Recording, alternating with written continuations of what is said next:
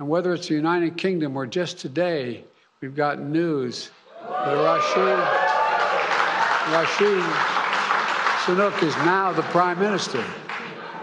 As my brother would say, go figure. and the Conservative Party expected to become the prime minister, I think, tomorrow when he goes to see the king. Pretty astounding. A groundbreaking milestone, and it matters. It matters.